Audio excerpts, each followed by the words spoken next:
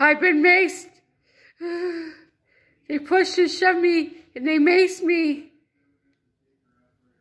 Because we're starting a revolution.